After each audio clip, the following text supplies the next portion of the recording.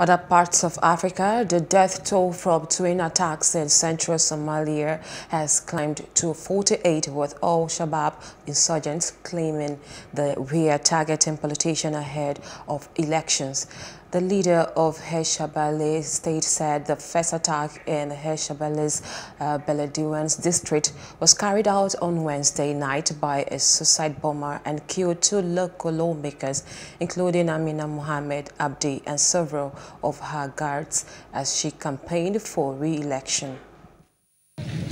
Somalia has beefed up security. Its death toll from twin attack rises to 48. The first attack happened in Beledweyne district and was carried out on Wednesday night by suicide bomber and killed two local lawmakers, including Amina Mohamed and several of her bodyguards, as she campaigned for election. As far as we can confirm, 48 people were killed and 108 others injured in the twin blast.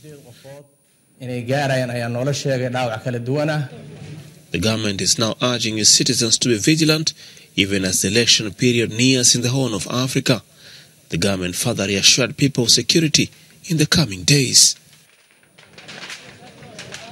God willing, we will not be disappointed. We will continue working on public services, whether it is about holding elections or other social development aspects.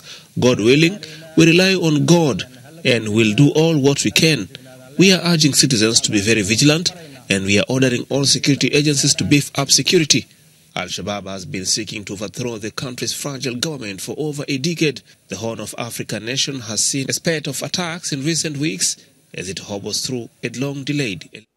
Please do subscribe to our YouTube channel and don't forget to hit the notification button so you get notified about fresh news updates.